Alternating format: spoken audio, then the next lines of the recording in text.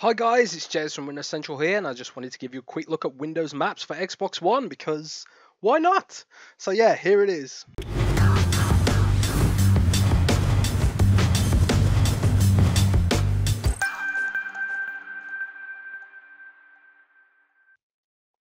So Windows Maps is Microsoft's mapping tool that's built into Windows 10 and Windows 10 Mobile. And thanks to the Universal Windows platform, it is now available on Xbox One. And it's a direct port of its PC version and it has all the same features. Now, a lot of the apps on the Universal Windows platform right now just have sort of a, a mouse-like cursor that you control with the joystick.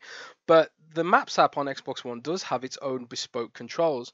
Navigating around the map is mapped to the joysticks and it works in pretty much the same way as the map does in an open world video game, actually, funnily enough.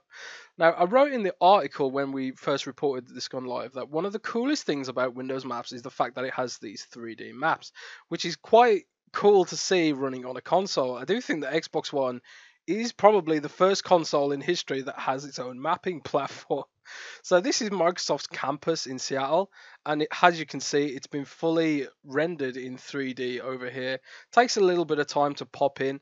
Now, one of the things to note about Universal Windows apps is that they don't have access to the full hardware on Xbox One, so don't expect to see games running on the Universal Windows platform on Xbox One, at least not for the time being, anyway.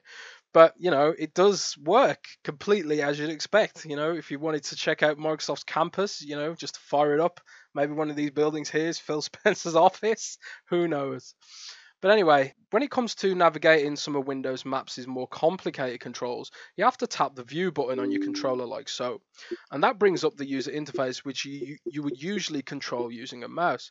Now, it does have all the same features that it does on PC. So you can save locations into your favorites, which does synchronize as well with your Microsoft account. It does let you set the camera to north as well. Obviously, the Xbox One doesn't have the proper hardware to like properly detect the compass direction. Also, the Xbox One doesn't have GPS, so it uses your ISP to get your location information, I would expect. Now, you can also switch between an aerial view or just a road view, like so. And then we get a, a normal, you know, Ordnance Survey style map of Redmond campus. Now, also, you can search for locations, as you might expect, and also, as no surprise, the Y button acts as a global search key across all Universal Windows apps I've noticed. So let's just search for New York. New York also has a detailed 3D map, if I remember correctly. Let's have a look at that. Take a little time to load in, but once it's done, we'll get a full 3D map of New York. You press the view key as well to go back, and as you can see, it's lagging out a bit here. The uh, you, as I mentioned earlier, Universal Windows apps don't have access to the full power of the Xbox One, but still, it's pretty cool to see, regardless, Xbox One having its own mapping platform. Now, you might be wondering why why would you want this on your console?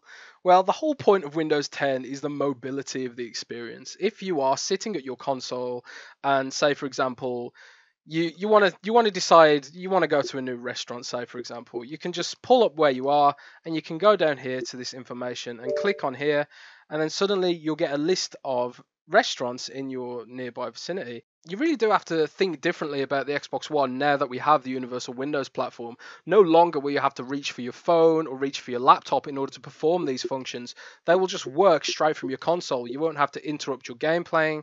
You'll just have to switch to another app and then pull it up, do what you wanted to do, and then boom, straight back in your game.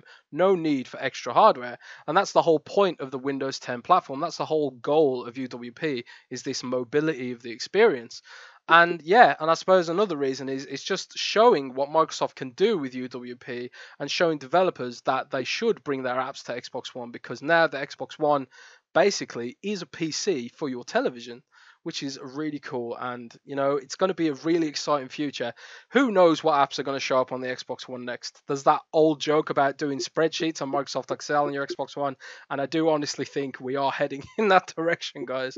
But yeah, if you've enjoyed this video, please like, comment, subscribe, and all that good stuff. I've been Jez Corden from Windows Central. You can follow me at Twitter at Jez Corden. And thanks for watching, guys. I'll see you next time.